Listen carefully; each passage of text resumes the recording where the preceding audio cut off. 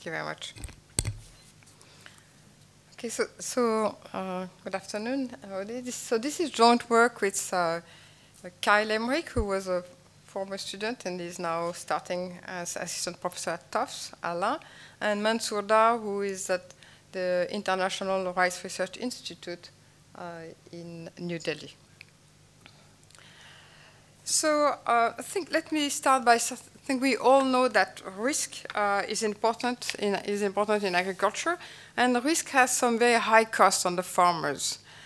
Uh, this is something that we have we have been concerned for a long time. But here I want to look at something in more detail. Then there is in a way two uh, mechanisms through which risk of extreme weather events. So we're going to concentrate on extreme weather event affect farmers. One uh, one are the one type of costs are the direct costs, so dam damages to crops, homes, livestock. So this is the immediate cost after the storm of everything you have lost. The second type of uh, mechanism that uh, negatively affect the farmers is all what they have to do, uh, the self-insurance sort of action that they have to take, conservative decision they have to make to reduce, reduce their exposure to risk. And this often at the expense of lower profitability. So choice of crops, which are less sensitive to weather shocks, crops of uh, variety, level of input use, not, not uh, undertaking expense, uh, expensive uh, input use when you may lose them, and some of management techniques.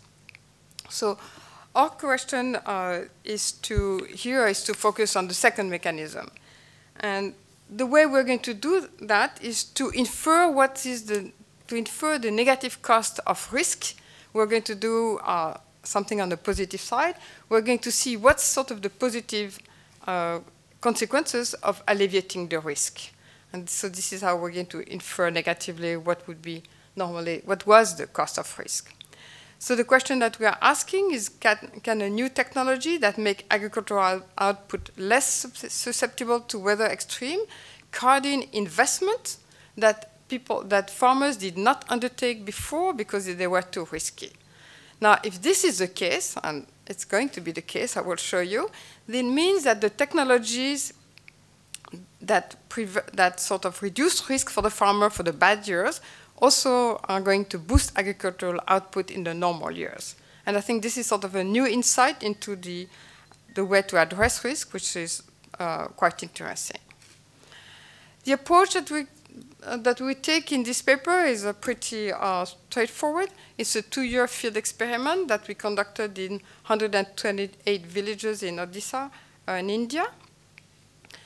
We allocate, the first year, we allocated five kilograms of flood-tolerant rice seeds, which is called Swarna sub 1, and come to back to it in a minute, to a random subset of farmers. It's very standard randomized control trial. Five, five farmers randomly selected in each of 64 villages, half of the villages randomly selected as well. The first year, that was in 2011, the summer of 2011, there was very large floods that occurred in many villages during the first year. This is really bad for the farmers, terrible for them. But in a way, uh, good luck for us, because then, right the first year, we could uh, verify the agronomic properties of that seed that we had given to the farmers, and verify on the in the farmers' field and cultivated by them with no help and no support from any one of us, and as opposed to being an experimental station uh, done by the, by the uh, by IRRI before. Second year, 2012, uh, this was a normal uh, year with uh, normal rain rainfall, so good luck for the farmers this time, finally, but good luck for us as well. Because then we are going to see all the changes in behavior that, that they undertook because they knew of the seed, and we are going to see large changes in investment, but also we're going to see, I'm going to show you that, changes in savings and credit use, and we're going to see a large aggregate effect on yield and on production. Remember, immediately the second year, this is extremely fast. Now, because there was no flood, we know that all the result that we find, the aggregate effect on production, is solely due to the behavioral change. So can, we can really separate how much can be due to the agronomic property of the seed. This is the first year. How much is due to the uh, farmer's behavior respond the second year, and we can compare the order of magnitude. So let me show you very briefly the result of the first year. So Swarna sub 1, this is the new seed, the flood-tolerant rice variety.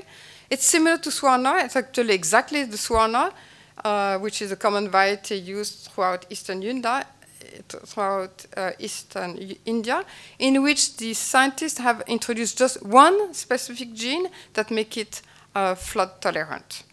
And it's, very, it's particularly flood tolerant for the period which is 5 to 14 days of flood. You see this on the graph. On the horizontal axis, you have the number of days of flood. And in our experiment, we had field with snow days, uh, no flooding at all, a bit higher. And then we had fields in any one of these areas, but you see more a lot of fields at 10 to 12 uh, days of flood. And what's represented on the vertical axis is the difference between, in percentage uh, term, between the yield in the, in the different field according to the uh, number of days they were flooded. Two things very important to see on this graph. First, that at the lower end, when there is no zero to five days of uh, flooding, there's no difference. So there's no trade-off. That Swarna sub 1 is no worse uh, in good year than, than the Swarna. And then we see the, uh, the grade value is really between 5 and 14 days.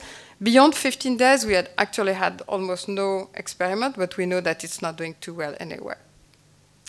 It turns out, so, this, so what the technology does, and I'll come back on that, is that it's going to cut on the, on the bad years to, to raise the yield, so cut the losses on the bad years, with no negative effect on the good years. So that means that it both increases the expected value, the expected return of whatever you do, the expected yield, and reduce the variance of yield. So we're going to have to be careful to distinguish those two.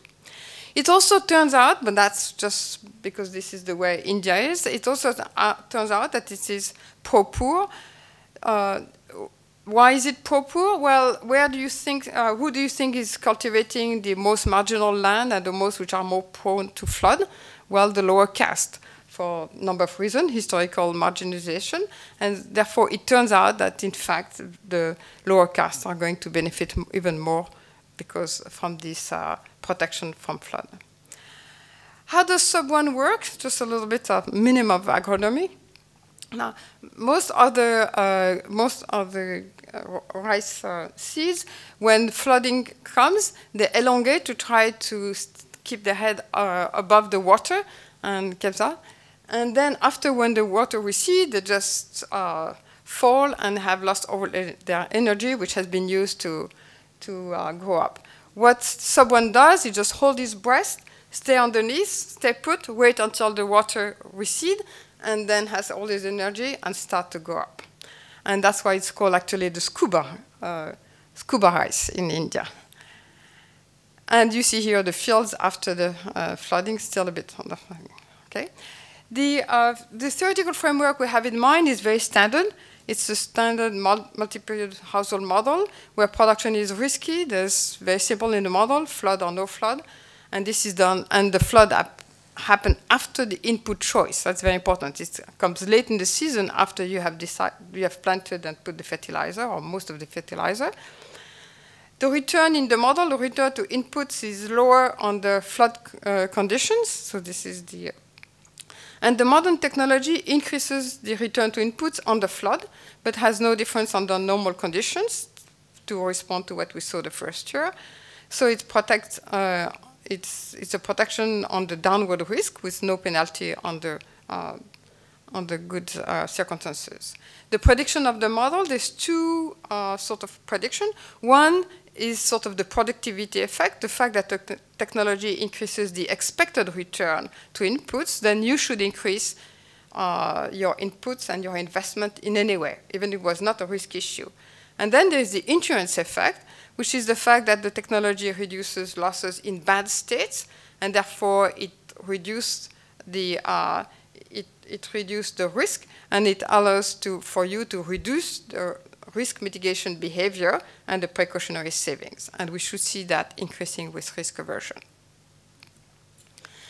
In terms of econometric specification, so we're going to have, a, because it's a randomized control trial, a very simple specification where it's going to be either at the farm or the plot level, um, uh, well, depends on the question we're asking. Essentially, y on the left-hand side is some of the outcomes that we are interested in. We'll, I'll look at that in a minute. As a function directly, a linear function of whether uh, the treatment variable is whether the farmer had received, so it's randomized control trial again, so that's uh, orthogonal to anything else, whether the farmer had received uh, those seeds the first year, and then uh, a block, um, block fixed effect, and the, uh, some control variable as well. We had some farmers with, who disadopted for different reasons. Uh, their, their seed bed was flooded, or their, uh, they ate their seeds, or they mixed them with the others, different reasons. And some we figured out to get those uh, seeds from some of their friends. But of course, this is endogenous, so we are going to everywhere use the intention to treat effect. I mean, we, what we call the treatment is having received seeds, whatever you did with it. And if you haven't received it and you manage to have it, you're still counted, counted in the control group. this is pretty standard. The outcome of interest that we will be looking at, so the Y that I had in the previous slide, uh, are a number of uh, inputs and manage management practices, rice area, fertilizer use, especially we're going to contrast the fertilizer of the early fertilizer that you put at the beginning of the season as opposed to the one that you put later in the, time, in, in the season. Use of traditional varieties as a way to protect against risk and planting method, then yield, which I mentioned before, credit and precautionary savings. So let me go through a number of tables here. Uh, you can just listen to me or look at those numbers, whichever. So the treatment variable is the one which is written original mini kit recipient which you have there. And here what we see is that uh, all these are three different ways to show that flood tolerance increases the area cultivated. We see the number of plots increasing by almost 0.7 on a mean value of 3.6, so this is a large increase.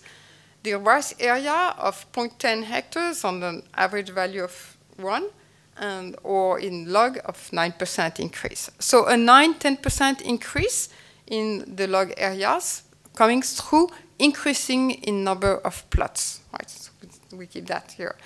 I don't have the, uh, the detail here, but those plots that were brought into cultivation were the more flood-prone and marginal plots.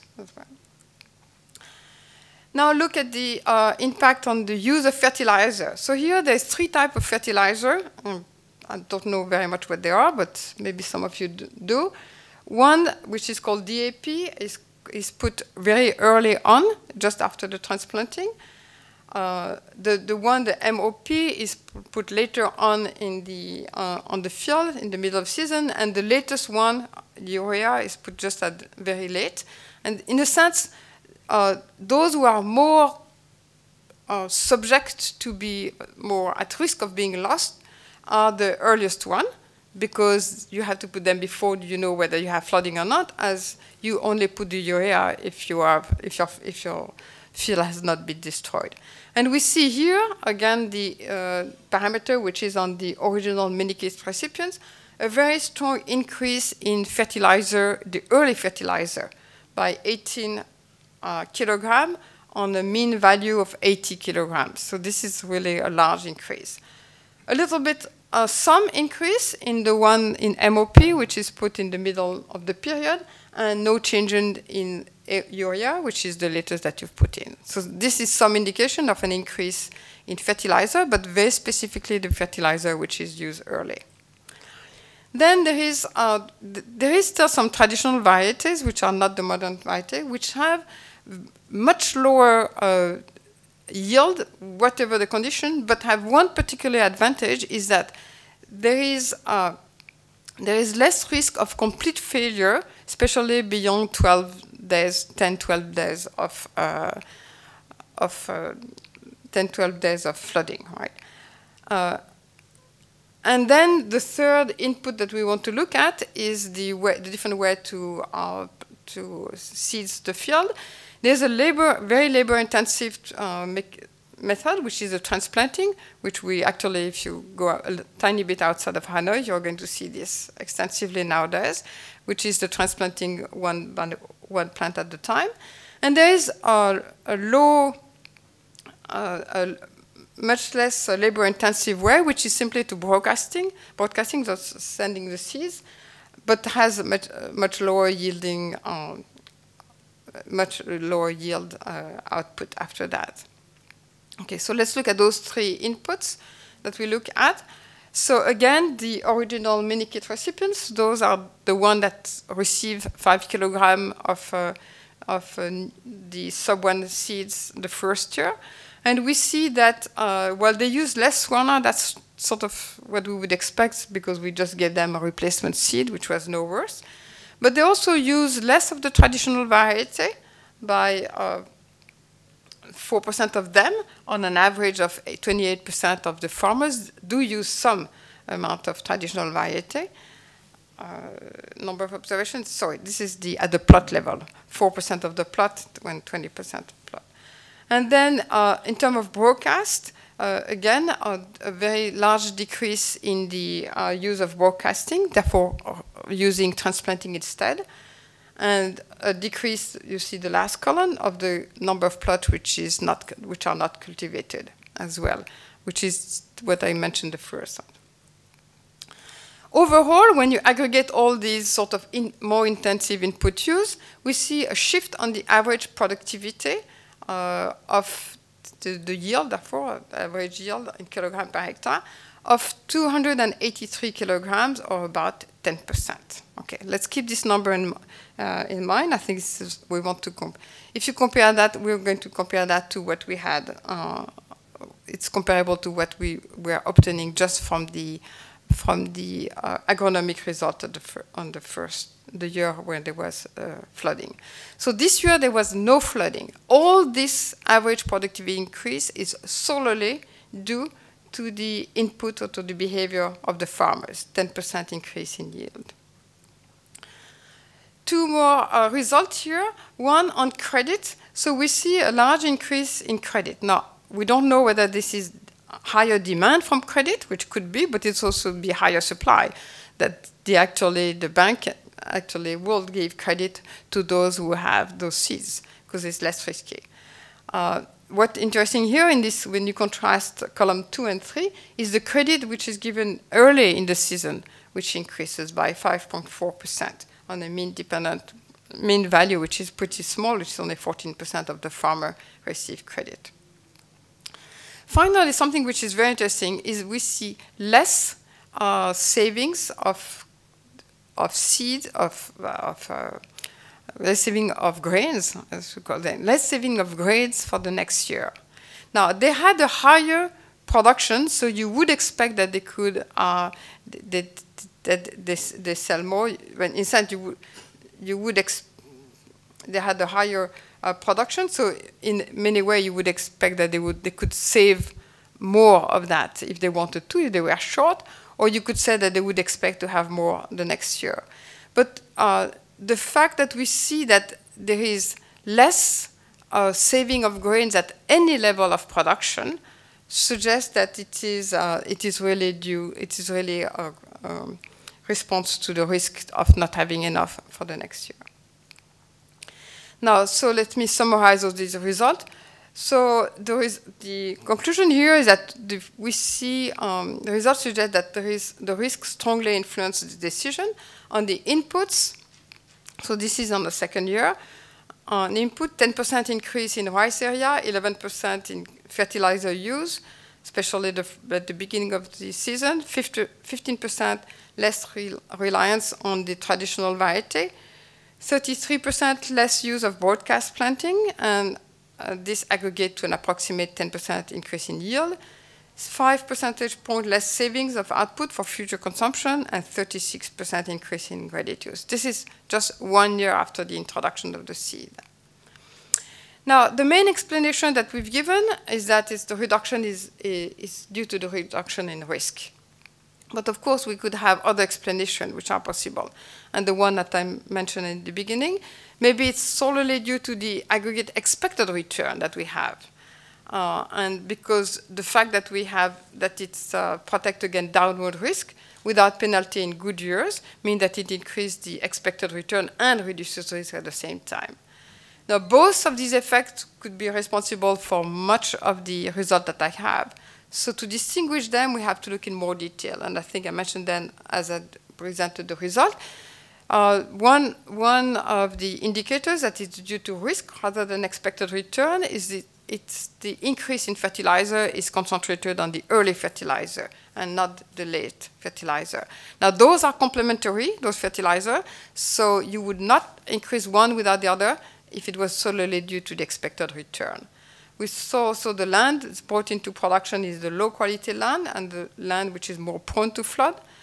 And we see the result, I didn't show them to you, the results are generally larger for most risk-averse farmers.